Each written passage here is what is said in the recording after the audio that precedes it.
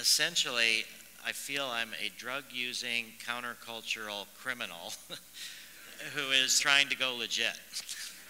and, in the process, trying to bring psychedelics along as well. And I do like um, the idea of mainstreaming. um, you know, I can see how it sounds, you know, in some ways boring and takes away the energy from, you know, we've got the latest, greatest thing. But I, I think it's about mainstreaming our whole selves. It's not about leaving things behind in order to become mainstream. It's about really taking our full selves um, into the heart of the culture and eventually being accepted and appreciated, hopefully. and I see it happening too. Well, along the lines of this countercultural criminal, I'd like to start by asking about what it was like in the good old days before MDMA was illegal. Um, and yeah, before it was first scheduled and criminalized, how is MDMA use viewed? And could you maybe walk us through briefly the process leading up to the scheduling of MDMA? Because I know you were involved in protesting that. It was the good old days in some ways, and I learned so much from those early days when MDMA was legal that really inspired me to try to um, bring that back. So I was. Um, completely unaware of the psychedelic underground. I had gotten very interested in LSD in 1971 and 72, and I took a lot of LSD and mescaline and other things, and really couldn't handle it. And you know, went to the guidance counselor and uh, college, and the guidance counselor was very sympathetic, actually, and um, handed me this book, uh, Realms of the Human Unconscious by Stan Grof in manuscript copy. And, and that, reading that book um, really changed my life because here was science looking at um, states of consciousness, spirituality, and aspects of religion, but focused on healing. And I thought this was absolutely terrific. I had become aware of LSD shortly after the backlash. I didn't really appreciate it when it was happening during the 60s. I believe the propaganda. When I learned about MDMA, it was 1982. It was at Esalen. I was doing a month long workshop with Stan Grof. A woman, Debbie Harlow, came by with MDMA and she started talking about how there was this new drug and it helped people feel love and it helped people feel connection and help people talk to others. And I thought, you know, how boring. Uh, you know, I feel love, I feel fine, and you know, I'm used to psychedelics. You know you've done enough when you can't talk. so, so, so, you know, but of course I was um, just barely smart enough to buy some anyway. uh, and then I went home and, and uh, did it with my girlfriend, and it was astonishing. It was so profound. And so I felt this tremendous opportunity that I had woken up to LSD um, after it was criminalized, after the research was sh shut down. But I woke up to MDMA when it was still legal. But at, in 1982, I was still a little bit late to the party. I mean, it had been developed around 75, 76. Leo Zeff, who's in that picture, was the leader of the um, underground psychedelic psychotherapy movement. He worked with Sasha Shulgin and Anne Shulgin, and when they would have new drugs that they thought would be valuable, they would turn it over to Leo. And he came out of retirement to work with MDMA. Um, but it was also being sold at the time as ecstasy already. And it was clear that it was doomed because whenever these drugs are being used in public settings, this was during the Nancy Reagan escalation of the drug war and just say no, um, it was clear that there was going to be this conflict inevitably. MDMA was being distributed under the code name Adam it wasn't connected to the chemical nature of it. Leo, through his work, introduced it to hundreds of psychiatrists and psychotherapists, and they used it in their practices, spread it to other people, and it was one of these other people that took it in this context that thought, aha, you know, there's a bigger market here and I could make, you know, fortune and people need this drug. I thought this is an opportunity to get involved to try to protect it for this inevitable crackdown. And having it be legal was absolutely fantastic. I mean, it's, you know, we think we're immune to a lot of propaganda, but it's incredible the number of people that have talked to me about MDMA causing holes in the brain because they've seen the slides from Oprah and from MTV. and all of this neurotoxicity concerns that just, you know, kind of wear on you in the background in some ways. So there was none of that. This was just this fresh new drug that had people talking about how much it opened them up to love and to connection.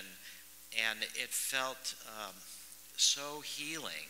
And there was different people, myself included, that had had challenging LSD experiences during the 60s or 70s, and MDMA helped to integrate, even after a decade or more, those challenging experiences. So we were able to communicate to other people about this drug, and they were more willing to listen because it was legal and because there wasn't this kind of propaganda about how dangerous it was. So the best example for me uh, to, to, explain to you now what it meant was there was a book in 1983 by Robert Muller, uh, New Genesis, Shaping a Global Spirituality. He was the Assistant Secretary General of the United Nations. And he wrote this book about how we need mysticism. The idea was mysticism is the antidote to fundamentalism and that psychedelics can produce this sense of connection. It goes beyond the ego, and then we see we're all the same. And then how do we hate Muslims, or how do we hate people that are different color, or how do we trash nature? I wrote him a letter and said, "Great book. You didn't say anything about psychedelics, but um, you know there's MDMA. It's still legal, and it has the spiritual potential. There's the Good Friday experiment, and every new way of killing gets unlimited money. So how about uh, helping us restart psychedelic research?" and protect MDMA. So he said, um, well, first off, he wrote me back, which was astonishing. I, I, was just like a college undergraduate. And he said, I understood his book, I understood what he was trying to say, and he said, um, here's a bunch of religious professionals that would be interested in hearing from you. Of course, I read between the lines and I heard him say, send them MDMA.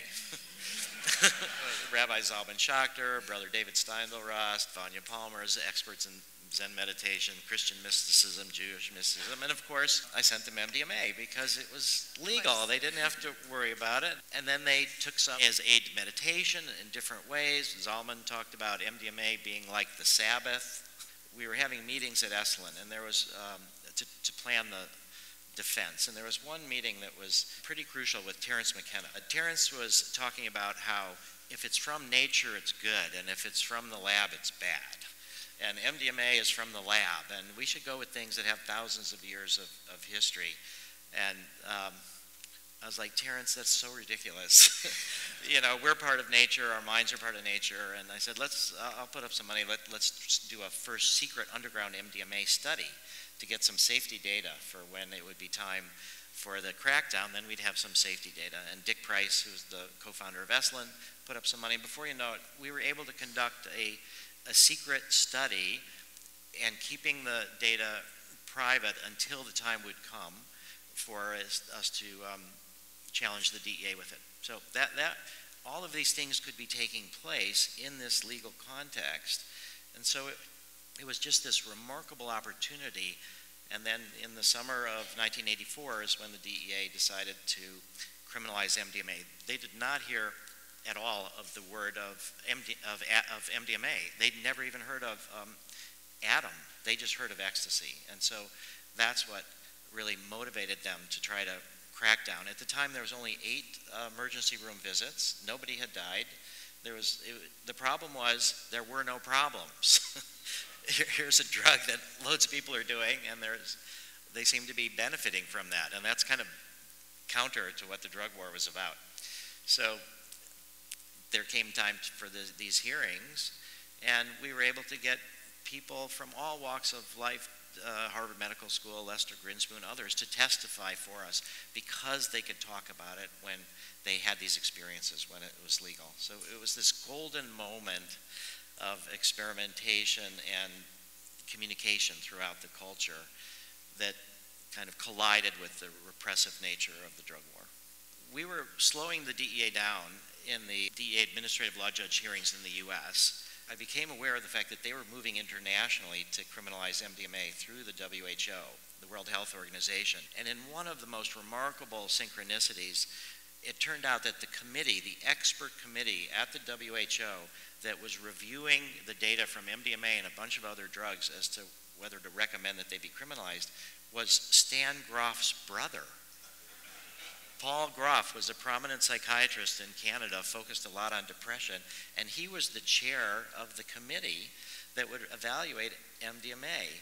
And I arranged through Robert Muller for me to go to uh, WHO. He helped me to meet up with the um, scientific advisors and the expert of this expert committee, and we presented some information. And then um, the committee voted to criminalize MDMA. Everybody but Paul voted to criminalize MDMA, and Paul was able to get this very little um, asterisk, a footnote, saying that the uh, chairman of the committee voted against criminalization because he thought it would inhibit research, and they put in this little paragraph that said, um, the nations of the world encourage uh, more research into this most interesting substance. And that was like, in a way, an overall defeat, but we got this one little footnote that was used later by the Swiss government to justify opening up MDMA from 88 to uh, 93. So, uh, you know, how do you see, you've just been uh, representing MAPS and representing the psychedelic community with the uh, United Nations General Assembly Special Section on Drug Policy. So, what is your sense of what's going on internationally? UN General Assembly Special Session on the World Drug Problem is what it's called. it was the first time in 20 years that the UN General Assembly had met to revisit international drug treaties. 20 years ago, the mission was for a drug free world. Drugs have just increased it was an interesting time to reassess. On one hand, it was definitely a bit disappointing that despite the fact the drug war is so clearly failing, um, the general movement of the UN and different countries represented there was kind of perpetuating this drug war rhetoric generally, though you know they did incorporate some a bit of um, progress. But for me, what was um, really inspiring about these meetings was that it pulled together um, human rights and drug policy activists from all around the world. And that was a really um, empowering part of this, this work to connect with people doing work in all different countries and learning more closely about what's happening um, and how we can all work together to ultimately influence the UN, hopefully, because, you know, progress is made by individual countries trying innovative things and reforming, and then that ultimately impacts the UN. Um, the UN is not really the body that's most innovative and kind of leading the way, but kind of following. Um, but I guess, you know, generally the focus at this drug summit, I can't say was on psychedelics. Um, you know, a big focus was about ending capital punishment for drug crimes, which, you know, with what's going on in the Philippines right now with this uh, you know, mass murder of drug dealers, we see how urgent and, and crisis-oriented a lot of and reactionary drug policy um, has to be sometimes. But um, some research that I was actually surprised to find was that according to the WHO, MDMA is actually the third most used illicit substance in the world after cannabis and amphetamines. So that was a really um, interesting piece to be speaking about in this context when um, many of the drug policy activists were really focused on moving away from a criminalization of, and drug war approach to a public health and harm reduction oriented approach.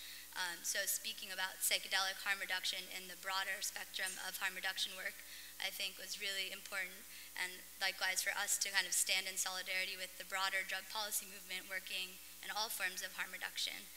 Um, and I guess speaking globally of, of other countries, they're certainly leading the way in psychedelic harm reduction, unfortunately, beyond the US. Um, I was recently in Barcelona um, where the Spanish government actually pays for something called energy control, which is a drug testing space. So I visited this space where people send in their drugs. You can send in your MDMA for a really affordable price and so affordable that people from the U.S. actually send their drugs to Barcelona to get tested. Um, and yeah, and the government sends back the results. They also had government created like um, snorting straws and all different harm reduction tools, which was just so shocking to try to imagine the U.S. government funding something like that, let alone allowing that to happen. Um, because currently, under the so-called RAVE Act, many um, venues and places are afraid of even allowing harm reduction measures to happen because they don't want to be held liable under this law for letting drug use happen on that, their premises. But um, we had some exciting progress with that this year at Burning Man, finally. um, the Zendo project, which is MAP's psychedelic harm reduction um, project, was finally kind of officially recognized by Burning Man and and each person attending Burning Man, Burning Man got um, information about the Zendo in their greeter packet. So that was really a huge progress, but you know, still absolutely no drug testing, you know, permitted at Burning Man, and there's a long way to go, and we have a lot to learn from different countries like Portugal that's also decriminalized, and at Boom, they've had psychedelic harm reduction really well integrated for a long time. My job, I feel, is to be perpetually dissatisfied. Once I'm happy, then that means somebody else should lead maps. After we had the Burning Man organization tell 70,000 people about Zendo, the leader of our Zendo team, Sara Gael, gave a presentation to Bureau of Land Management. 60 federal police heard about Zendo and were sympathetic with it. Um, and so I was sitting around thinking, okay, what's next? What, what do we do next? And so now we're going to be applying to the DEA for a special license to set up a drug testing program at Burning Man. Um, so next year. that it was Biden that put in this RAVE Act, reducing America's vulnerability to ecstasy. We had this all-night Burning Man event on the Washington, D.C. Mall. Several days after that, Natalie, you went to see uh, Biden's staff. So going from um, right outside the White House, dancing all night, and then protesting the drug war. So what was it like when you went to um, see Biden's staff? Um, unfortunately, they weren't even really familiar with the RAVE Act and like the negative repercussions that it was having, which was quite frustrating. Um, and I can't say that they were really that interested in engaging as much as I would have hoped. But I do have more hope that um, in this Amend the RAVE Act campaign, um, I work with Stephanie Jones from Drug Policy Alliance and Dee Dee Goldsmith, um, whose senator is Senator Kaine, who actually has been supportive of this process and sent a letter to the DEA kind of asking um, in support of amending the RAVE Act so that was pretty encouraging that we kind of have this connection to the current vice president, hopefully the next vice president, and what are some of the implications of rescheduling and descheduling? Like how would that impact medical access, legal access, harm reduction? Descheduling means legalization. Rescheduling means changing it um, from Schedule 1 to some other schedule so that it's actually a prescription medicine. And so I think that we need to work on parallel tracks. So descheduling is something that um, we're anticipating will take place around um, 2035. um, what we're gonna, we're anticipating MDMA um, becomes a medicine around 2021. Um, if our negotiations with FDA go well, we have a meeting on November 29th coming up with FDA about the phase two, phase three transition. And if it goes well, then we anticipate 2021. Also the same similar dates probably for psilocybin. And then we have probably um, 10 years of setting up psychedelic clinics throughout the United States and Europe, and then people get more comfortable with uh, the whole concept of beneficial uses of psychedelics in psychotherapy, and the clinics expand to become places where people can um, bring their families for sessions, and then beyond that, the country gets comfortable with marijuana legalization, which will maybe be somewhere like 2022 or so. It's going to race. Does marijuana get legal federally or does MDMA or psilocybin become a medicine first? And the path is really the path trod by big pharma. I mean, we have to acknowledge that the, and I do, that the scientific method is crucial, that we lie to ourselves all the time and we see what we want to see and we need the scientific method and we need to do the research according to the FDA standards. And I think that that's achievable. We have support from within FDA to do the studies. The key point to understand about rescheduling is that what we're talking about is psychedelic assisted psychotherapy. It's really about the psychotherapy. So the drug is never going to be a take home drug. There's all sorts of ways in which the FDA can regulate how drugs become medicines. We're not talking about MDMA becomes a medicine or psilocybin becomes a medicine and anybody can prescribe it. It'll be only people with certain kind of training and then only in certain kind of clinic settings and only for administration under direct supervision. And that's the vision that we have for the rescheduling. It's probably going to be about $25 million. We have almost half of that already raised or pledged. So I think it's within reach, and I think there's such a need in society for this kind of healing that we will be able to uh, make it happen. Legitimizing uh, and obtaining approval for prescription use of psychedelics, how does that relate to social justice? So, MDMA and psychedelic therapy um, is so effective because it encourages the individual to address, you know, the root source of their trauma and their issue um, beyond just their symptoms. And often, in, in really trying to examine the root cause, um, broader kind of social um, causes of trauma and pain start to come into the picture. Um, I've had the privilege of watching hours of MDMA um, therapy tapes from MAPS, um, and I was really struck by how so many veterans who are recounting their trauma from war often recounted tra- the trauma of perpetration and of committing violence. And that was really what was coming up for people. Um, and there's this one woman that really sticks in my head who I remember like crying out like, I had to kill those children. I had to kill those children. They were coming at us. And then right after saying, How could I have been a part of something where I was forced to kill children? And kind of really starting to question the violence um, of war and, and, and the greater causes and systems that are forcing her to be a part of that. Are we helping inadvertently to make it easier to wage war? Or is there some dark side of what we're doing? And, and how do you view I, that? I also get asked that, and also asked by, we do work in Israel also with veterans, and I receive a lot of questions like that. Um, and I think part of this healing process is also about um, healing your fear. You know, and when you're in these states of violence, you're acting out of fear and protection. Um, so I think healing is a really essential part in stopping cycles of violence and stopping fear.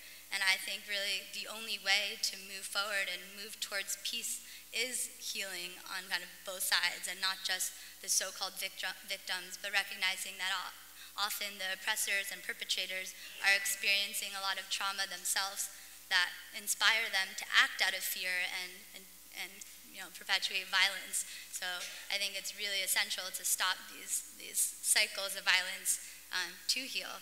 And beyond um, the trauma from war, which um, you know, is something that we, we speak about often in the context of veterans, I think what we often don't really recognize is that the great trauma that stems from social injustice in general.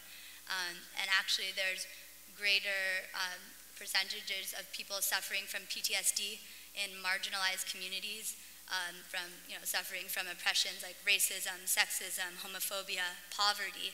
Um, they're actually higher rates than in returning war veterans often, and um, to to recognize that and to recognize there's um, a researcher named Dr. Monnica Williams who's doing some pioneering work, pioneering work on PTSD from racism. Um, she actually attended a MAPS MDMA therapy study and wrote a piece for our bulletin if you're interested in hearing more about that. Um, but I think just, you know, to take the example of racial trauma um, and to think about what Black Lives Matter in this country means today, the fact that there needs to be a movement asserting you know, that Black Lives Matter is a response to a very traumatic feeling that Black lives don't matter.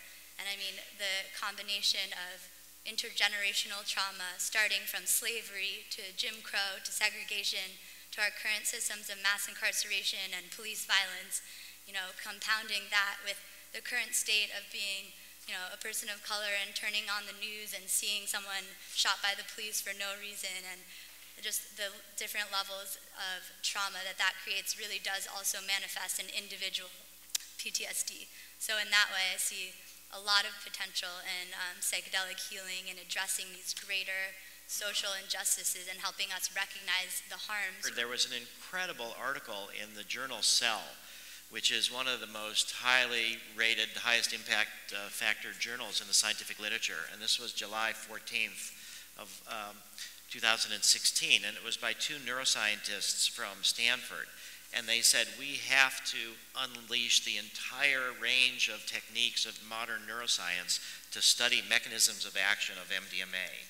And the last two sentences were something that Natalie or, or I could have written ourselves because it was saying basically the world needs more compassion and empathy, and the study of MDMA is one small step to get us towards that goal. So it was just so totally heartening to see this coming from mainstream neuroscience, and they recognize that this is um, an avenue to try to help. Um, you know, with multi-generational trauma, with all these things, that, that that's why for me we've made a fundamental alliance with the drug policy reform movement, because the kind of healing that we need, and when we talk about uh, the current political climate, it's really not about Trump. Uh, you know, it's about millions and millions of people who are vulnerable to having their fears and anxieties be triggered by things that he is saying. And so we have to have broad-based mental health with millions of people beyond just clinically treating conditions. And that's why I think we have to go beyond uh, legalization. But a lot of the people who go to war are actually people of color. And yet, in our studies, we have not had a single African American in our study, we've had over a thousand people volunteer for 24 spots in our study of veterans, firefighters, and police officers, and we've not been able to really get one African American. And I, and I wonder why you think that might be and what we can do about that. But I could guess there's a really long history in this country of research and experimentation on black people in particular. Um, you know, injecting people with syphilis and doing really horrific things. So I think there's a lot of reason for the black community to have a lot of mistrust over some new, innovative, kind of crazy therapy that works with your brain. You know, I think um, there's a big need to, to proactively reach out to communities and educate and talk about our work and not just expect that, you know, they'll come.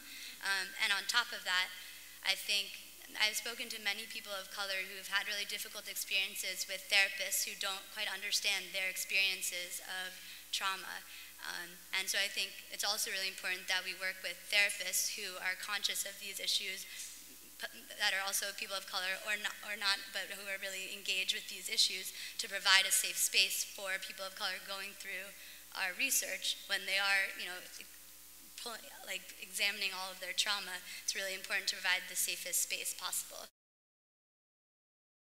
I wanted to share a harm reduction story that I personally witnessed 2007 or 8 at Burning Man when I was also working on the harm reduction team there with MAPS and other collaborators. There was someone who was severely agitated on the verge of becoming violent, surrounded by basically a circle of law enforcement officers who were ready to tase and zip tie this person. There was a woman who was working with the harm reduction unit who very slowly and gently approached this person, step by step, conversational voice, infinite patience, very slow, very kind, very non confrontational. And it must have taken six or seven or eight minutes of getting this person back down to a place where they were just comfortable and could be spoken with.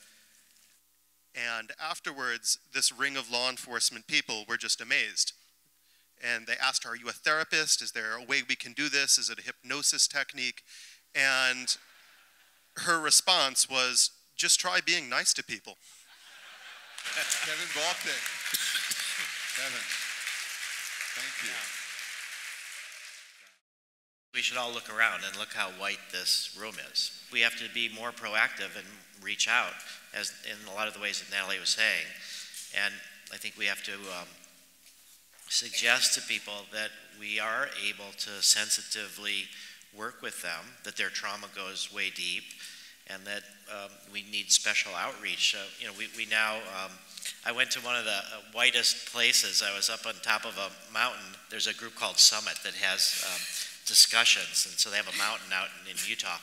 So I was uh, giving a talk at the top of this mountain in the middle of a whiteout with snow all around, and there was this um, African American female psychiatrist, uh, Stephanie Stewart, who um, was interested in this area, and so now we've um, encouraged her. She's gone through our training, so we're going to try to have more bridges you know, active bridges between marginalized communities and what we're doing. The FDA basically wants your phase three studies to look like America. They want it to be racially diverse, gender balanced. We're going to have to make a special effort to figure that out. I would be really interested down the line in seeing how group work might be effective in, in a population like that is traumatized by kind of more of a group trauma. Um, I think that that could be a really interesting um, mode of, of doing that work. And I know kind of one of the questions that was going to get cut off that was also similar to what you're asking is about the accessibility of MDMA therapy in general. We're going to have about 10 phase three sites, and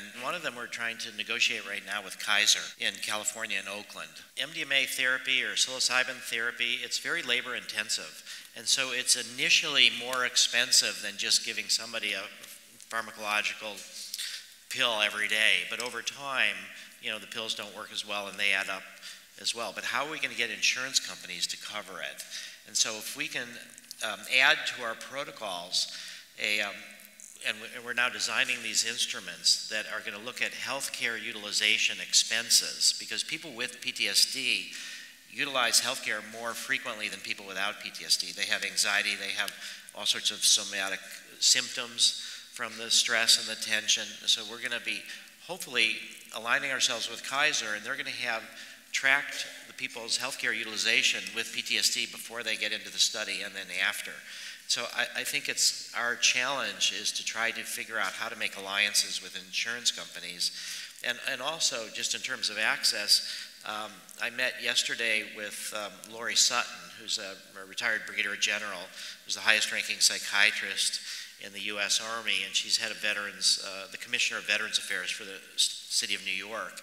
And we were talking about uh, the latest statistics that just came out that we received from the VA. As of June 30th uh, of this year, 868,000 veterans are receiving disability payments for PTSD.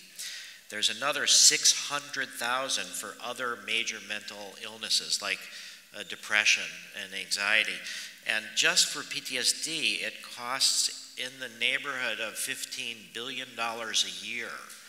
And when we think about the cost of war, uh, these are mostly young people, and this is going to be on for decades to come. So there's a financial incentive for the Department of Defense and the VA as well. We haven't yet persuaded them that that responsibility should extend to funding MDMA research, but I think that we will see the opportunity to get insurance companies involved and it will be accessible. And hopefully, we will develop a, a broader base of people that are comfortable coming. But I think that is one of our major challenges is we have to proactively do that. And actually, to add to, to hopefully facilitating that, um, um, Ismail Ali, who has just started working with me in the policy team on MAPS, um, is interested in developing a group called POC Psychonauts of Color. Um, so we're hopeful. Um, there actually this has been a kind of amazing network developed over the last few years of psychedelic societies around the world and around the U.S. Um, right now, our list is over 80 societies wow. from Pakistan to Czech Republic, you know, to all over the U.S., to the South even. Um, so I think these groups are really important in helping changing culture um, in their communities. So I'm hopeful that with a group like Psychonauts of Color, that could yeah. also help cultivate a safer space for people of color to talk about psychedelics, maybe learn about MAPS's research, and go from there.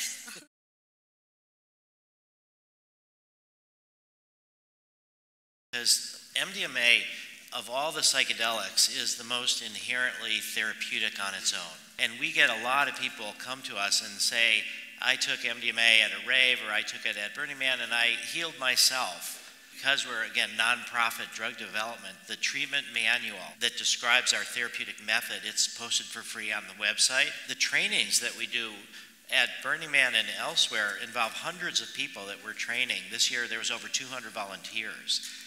And they're able, you know, within a, a, few hours, both, you know, kind of what Kevin said, just to be nice to people, but also to learn about a little bit about how to work with psychedelics with people. That a lot of people, um, you know, who aren't formally psychotherapists are able to be profoundly helpful to people having a difficult trip.